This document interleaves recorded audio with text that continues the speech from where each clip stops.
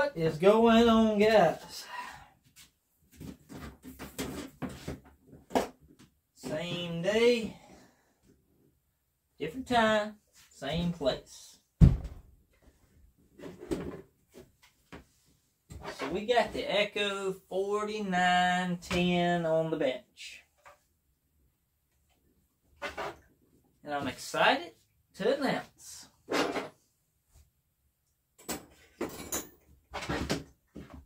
bad boy is coming apart for port work. Whoop whoop! By Charles Briscoe. Ha! so, I love porting saws. I love working on saws, but sometimes you just know there's like a godfather of chainsaws. Briscoe's got the 4910 builds down packed.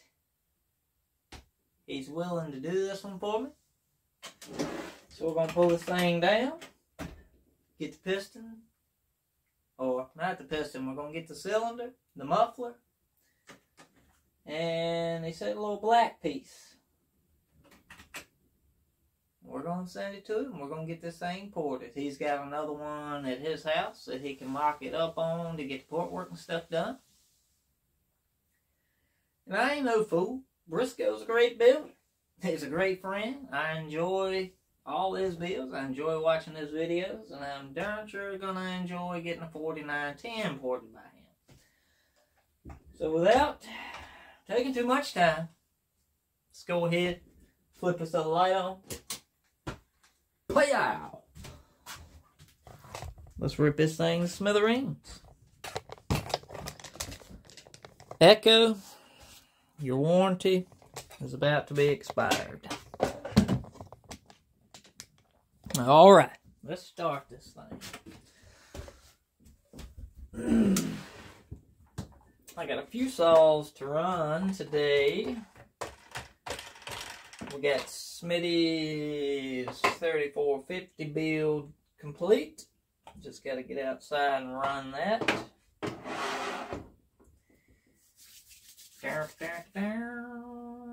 It's like Allen has. Three millimeter? Three millimeter.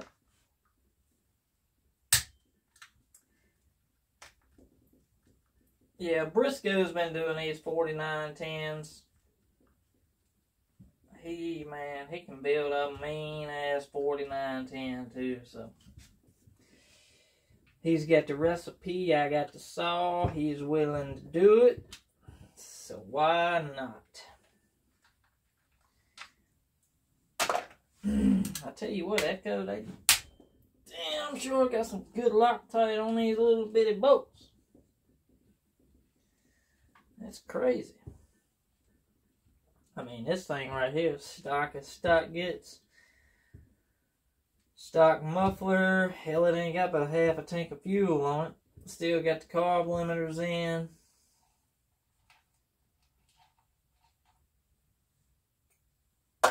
Plus, it's... I don't think builders, chainsaw builders, people that like to do this ought to be competing with each other on a, I guess you could say a pissed off level. I think everybody's different. Everybody should enjoy what other builders have to offer. I mean, hell, I, I I think I build my saws decently. They sure do run great. Somebody else build the same saw better than me? More than likely. Probably so. But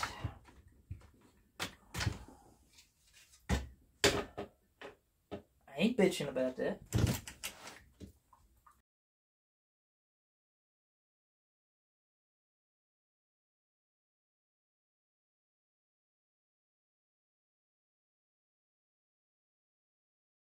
right there.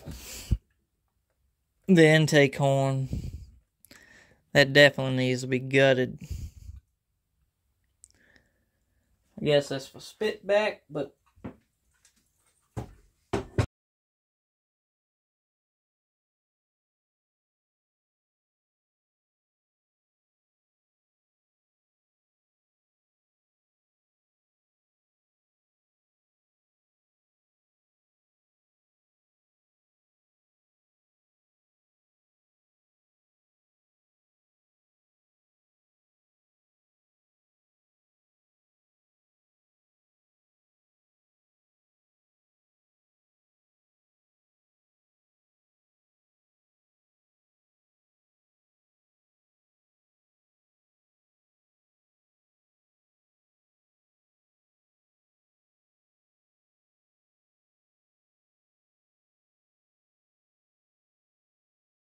we go.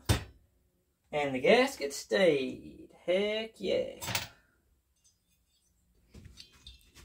So, this is a stock cylinder.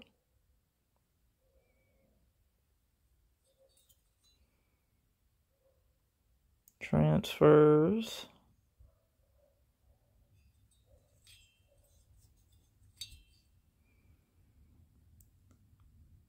Other side. And a fairly flat squish band in it. I'm sure he'll cut that maybe.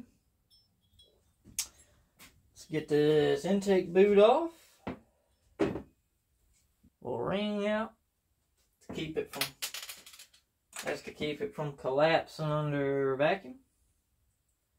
And I'm sure you just fold this and pop this off. And now I'm sure you just pop this off.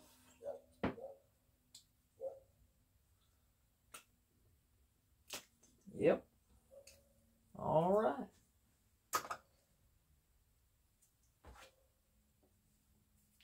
And we'll slip this boot off. Boots off. So she uses a Walbro carb, kind of like your Poulan's did.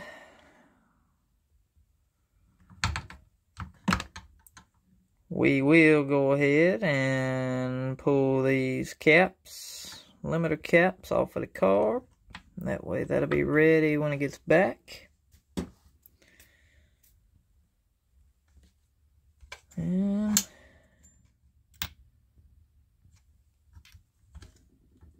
Nice looking piston. She does have a little dome to her.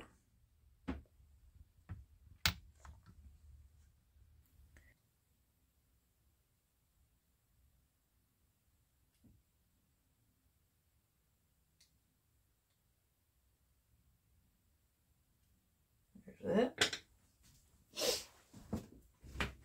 Grab us a little screw. So what I do is turn these till them red tabs line up with the slot there.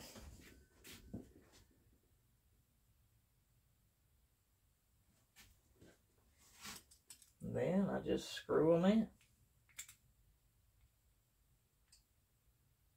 Sometimes they will turn on you, so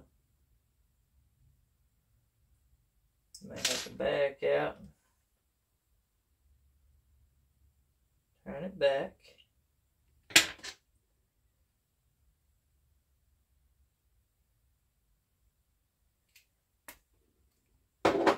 Just like that. Same with this one. Just gonna barely start it us.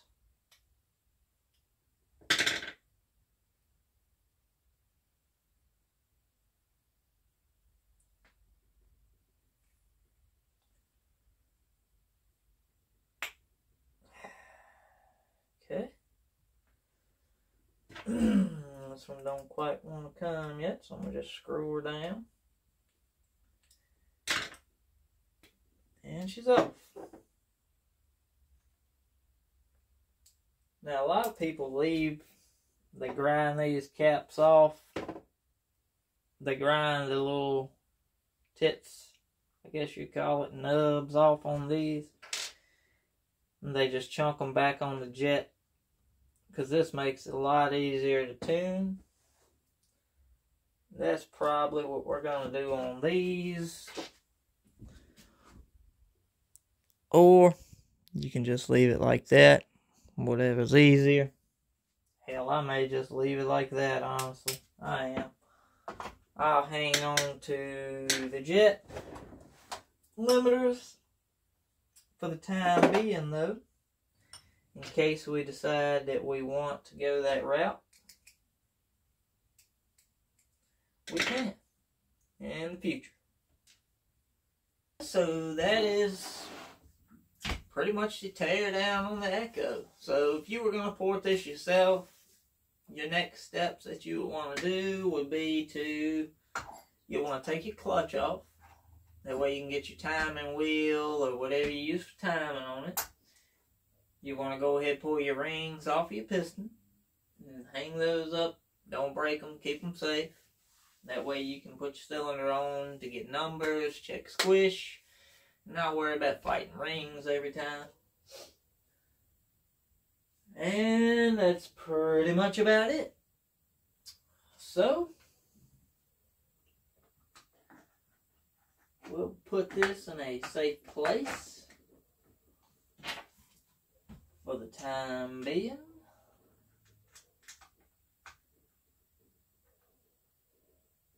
And I think now what we're going to do is go ahead and go outside and run us a few saws.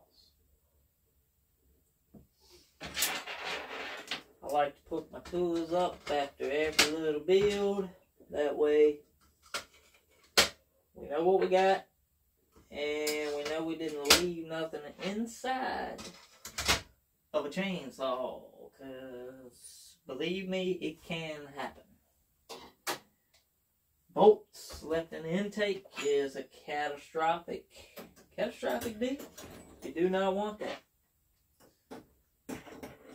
Make sure you got all your stuff. Keep all your stuff organized.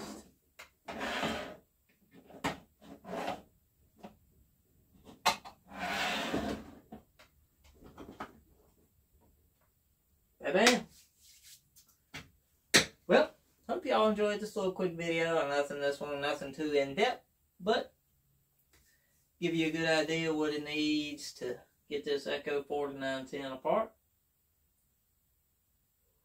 And we look forward to getting the stuff back here whenever, getting this thing back together and seeing how much difference it made. Believe me, stock, complete turd. No doubt about it. So we're going to go ahead and call this video here. Dubs, we out.